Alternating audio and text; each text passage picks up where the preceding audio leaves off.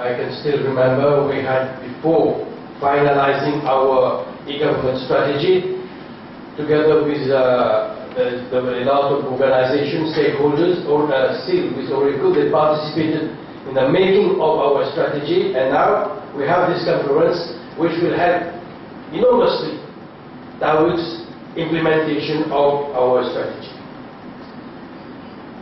The theme for this youth conference is building on the foundation. And it's based on assessing, building on, and improving the already established IT systems and infrastructure of the public sector in Mauritius to be in line with global e-government frameworks and best practices. I also understand that this conference is targeting mainly chief executives, chief information officer, project managers, IT managers, and head of IT from ministries, departments, parastatal bodies, and local governments. It will defeat the purpose of preparing a strategy when those who are involved in the implementation of that strategy are absent. I'm very happy that you are here today to listen, work out with our experts on how we're going to implement our strategy. I'm very happy because, you know, I have the firm conviction that whatever you're doing is in line with our government's e-government strategy. And this is of paramount importance. We want to succeed. We want to make Mauritius one among the best countries where you can have good services. Government has left no stone unturned to achieve that end. And we need your help and support. I thank SIL and Oracle for having taken that initiative to do that. And I commend their efforts and because they are working in line with government's vision in establishing the next phase of transformation that our society is bound to face. As I always say, we have started a journey to move our country from the concept of cyber island to smart Mauritius. Ladies and gentlemen, many countries across Europe and Asia, as well as emerging countries, have launched or renewed their digital strategies in the last few years. But ambitions vary. Like never before, governments have the opportunity of acting as a first mover and embrace innovative technology-enabled service delivery models which are transforming the way we work. Mass digitalization within public service could contribute to organizational change, higher productivity and cost effectiveness, delivering much higher quality services and improving constituent satisfaction. You will agree with me.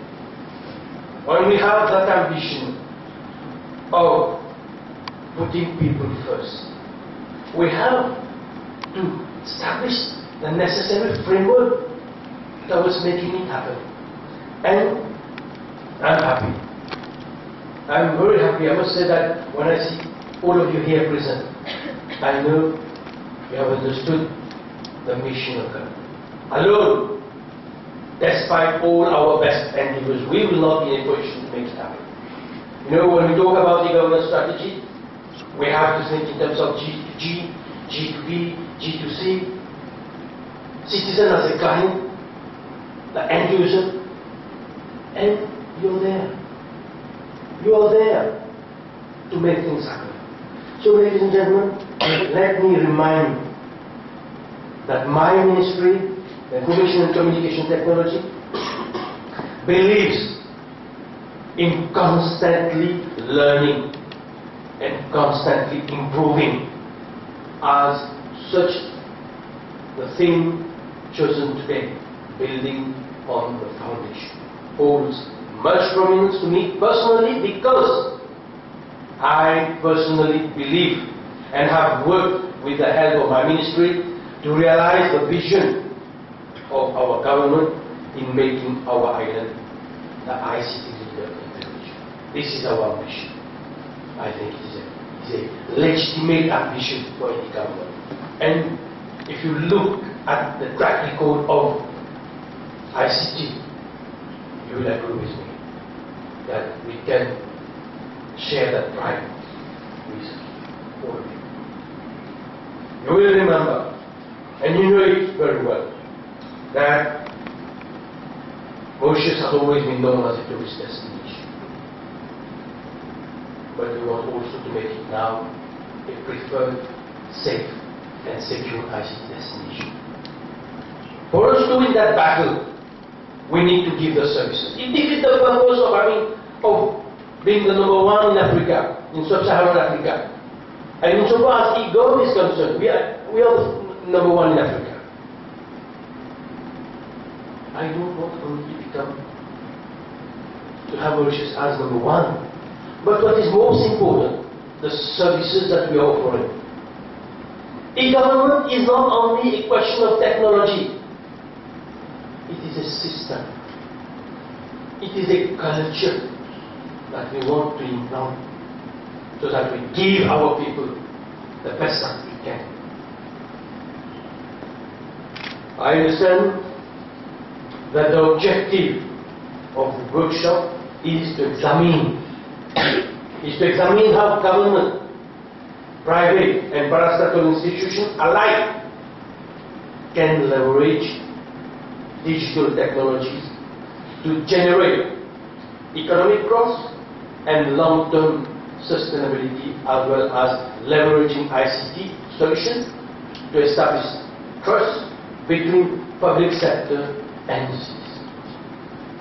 I believe, ladies and gentlemen, that it is very crucial to emphasize that among the many promises of the digital revolution is its potential to strengthen democracy and most important, make governments more responsive to the needs of their citizens.